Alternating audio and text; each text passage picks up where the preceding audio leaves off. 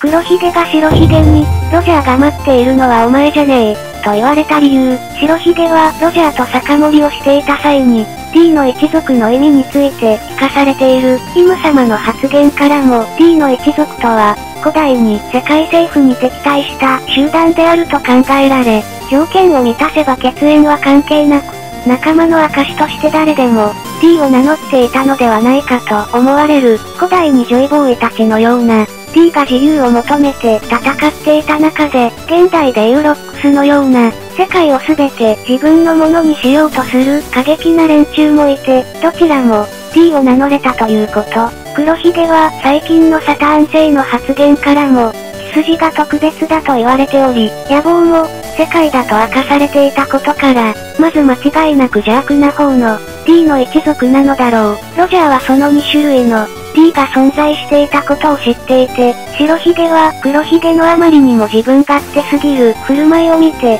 ロジャーが待っているのはお前じゃねえと言っていたのではないだろうか。